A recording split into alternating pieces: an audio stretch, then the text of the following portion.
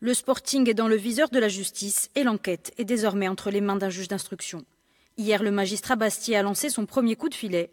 Un expert comptable et un commissaire aux comptes, suspectés d'avoir participé à falsifier les comptes du SCB, ont été mis en examen. Joseph Lorenzoni pour faux, complicité de banqueroute. Antoine Vincenti pour non-révélation de faits délictueux. Tous les deux ont été laissés libres et placés sous contrôle judiciaire. Deux autres personnes, également employées dans le milieu de la comptabilité, ont été placées sous le statut de témoins assistés. Ces mises en cause interviennent après un an d'investigation de la police judiciaire et plusieurs perquisitions dans les locaux du club.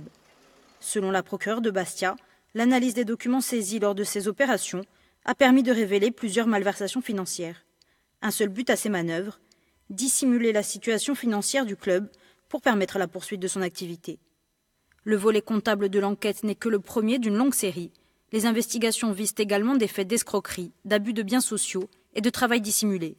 Une liste qui fait écho aux dettes du Sporting.